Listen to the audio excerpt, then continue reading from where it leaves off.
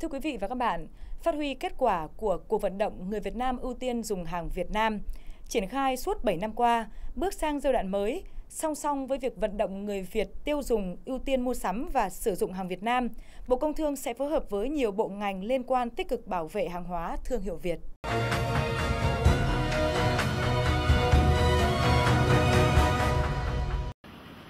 Trong năm 2016 và những năm tiếp theo, Bộ Công Thương đã chỉ đạo 63 thương vụ Việt Nam ở nước ngoài có chương trình để chấp nối đưa hàng Việt vào hệ thống phân phối ở thị trường nước ngoài,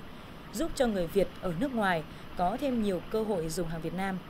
Tại thị trường trong nước, song song với các hoạt động giao thương xúc tiến thương mại, kết nối cung cầu, Bộ sẽ tiếp tục phối hợp với các địa phương xây dựng các điểm bán hàng Việt cố định mới với nhận diện rõ ràng nhằm cung cấp cho người dân hàng hóa sản xuất trong nước có chất lượng và nguồn gốc rõ ràng triển khai cuộc vận động người Việt Nam ưu tiên dùng hàng Việt Nam và chúng ta đều luôn luôn nhắc rằng là hàng Việt Nam tốt, hàng Việt Nam đảm bảo chất lượng và hàng Việt Nam sử dụng an toàn. Đấy, cho nên chính vì thế cho nên chúng tôi nghĩ rằng là cái việc ấy là đầu tiên là người sản xuất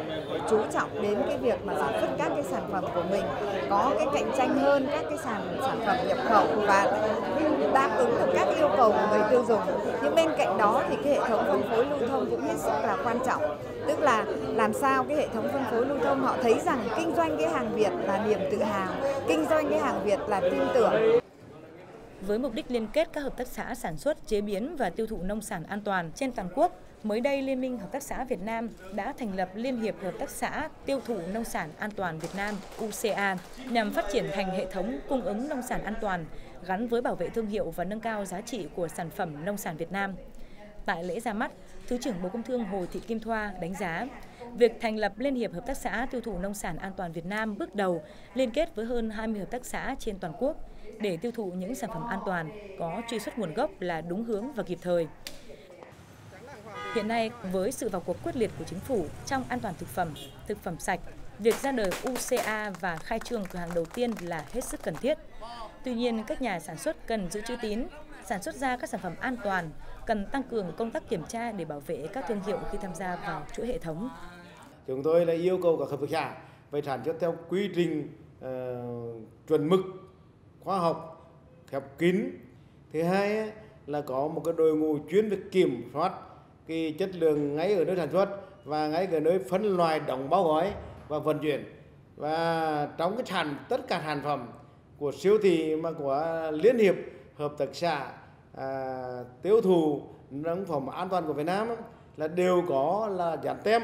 rồi là mã vạch. Và trong cái tem mã vạch ấy đã có sẵn các cái thông số. Chúng ta chỉ cần quét qua máy là thể hiện rõ ngay là nguồn gốc sản xuất công nghệ nào địa phương nào sản lượng và các cái tiêu chuẩn kỹ thuật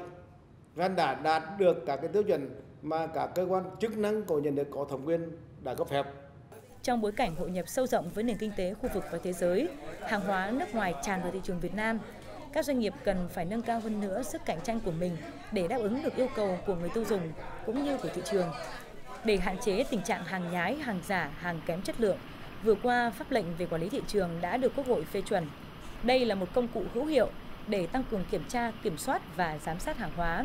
đảm bảo hàng được lưu thông trên thị trường là hàng chính hãng có nguồn gốc xuất xứ, công tác quản lý thị trường cũng sẽ được đẩy mạnh hơn trong thời gian tới để bảo vệ hàng hóa của doanh nghiệp.